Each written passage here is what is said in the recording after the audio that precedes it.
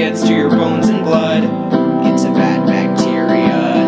It meets the criteria for antibody mediated. It's benign unless your health is deviated. MRSA is antibiotic resistant, and it's always mutating. So memory B cells can't remember a thing.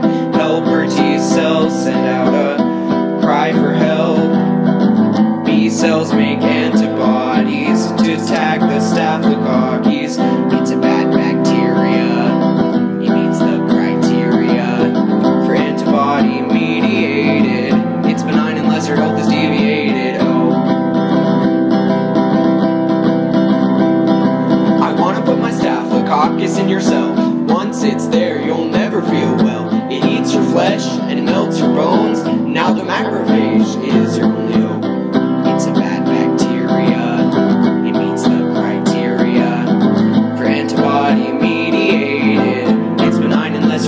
deviated. Antibodies on antigens, it's a macrophage, knows what it's up against, but it can't get them all out of the way.